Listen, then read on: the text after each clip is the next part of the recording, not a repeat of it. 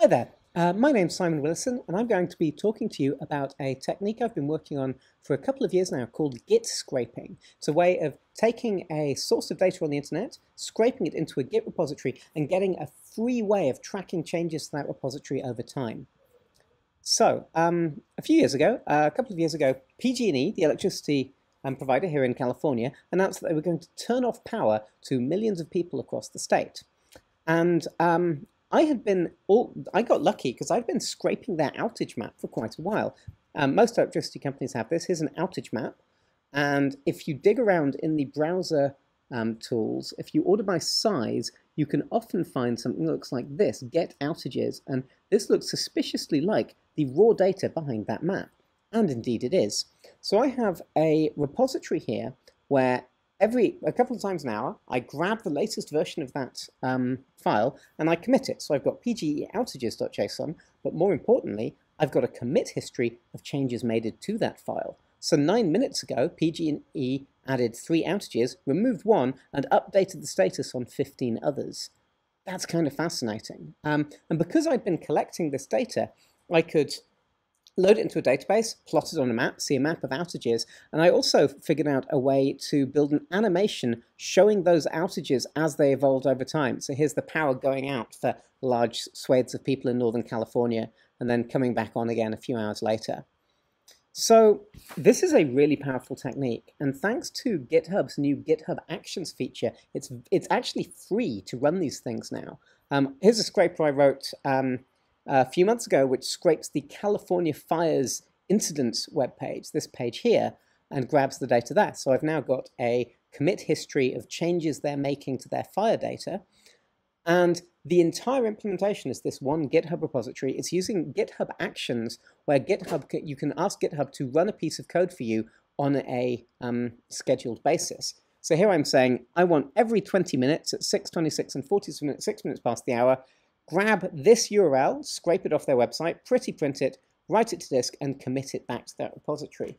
So I'm going to create a new one of these right now to show you quite how easy it is.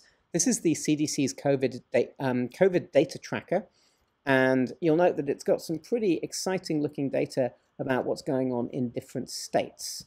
So again, we're going to inspect element, um, hit up the uh, network tab in Firefox, refresh this page, sort by size, and see if any of these look like they might be interesting to us. And sure enough, there's a thing called get Ajax data question mark ID equals vaccination data.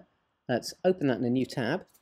Look at this. How exciting is this, right? This is data about vaccinations across all of the different states. So I'm going to copy and paste that URL and I'm going to create a new Git repository. Um, new repository, call it um, CDC vaccination um, history. Uh, sure, I'll make it private, stick it in a README file. Um, and then I'm going to create this workflow file. So create a new file called .github slash workflows.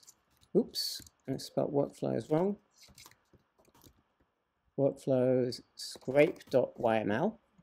I'm going to scrape that URL. I'm going to copy my example from here grab that, stick that in here, paste this in there instead, and that's it. I'm done.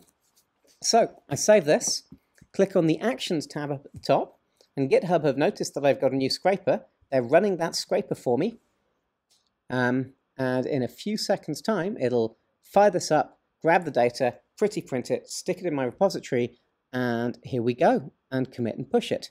So now when I go back to the front page of the repo, there's now an incidents.json file with all of that vaccination data in. And if we come back to this in a few hours time or a few days time, we'll have a, start building a commit history of changes made to that. This trick is so powerful, it's so useful, and like you just saw, I just knocked this out in 30 seconds. Um, if you want to know more about this, look up Git scraping. Um, I've got an article on my blog. I've got plenty more examples in here. I've got examples of other scrapers that I've run. And there's also a tag on GitHub, which I'll add to this repository right now. Um, edit here. There is a Git scraping topic. Scraping. There we go. And so if you use this trick, add that tag, and it'll be added to this index of Git scraping projects so that other people can find it as well.